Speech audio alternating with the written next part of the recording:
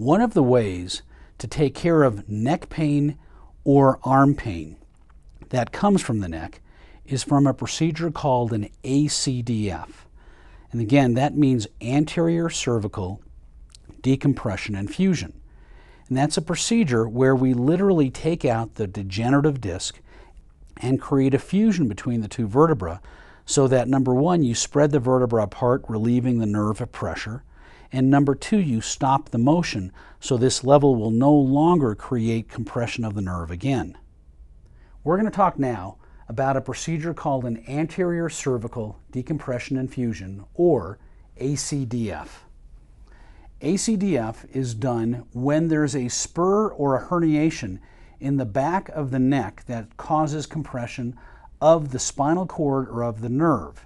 This is an example of a level where the disc has literally been worn away and there are spurs in the back which are compressing the exiting nerve. So this procedure first starts with a small incision in the front of the neck. And when we finally reach the vertebra, we put small pins in the vertebra and literally pull them apart. When we do this, we return the vertebra back to their normal anatomic alignment. So of course, this space is much bigger than the original space as we've pulled it apart.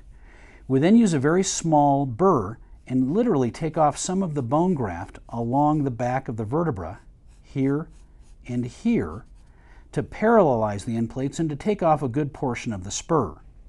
Any portion of the spur left over, we use a small special tool to remove in the back of the canal, which decompresses both the spinal cord and of the nerve root.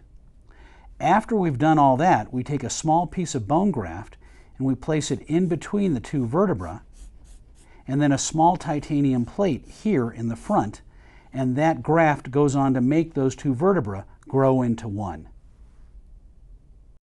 So after in surgery, we insert the bone graft and have decompressed the nerves, many times we'll place a little titanium plate on the front of the neck, and that titanium plate will hold that graft solid and allow a better fusion and a faster fusion and allow the patient to get out of the collar sometimes immediately.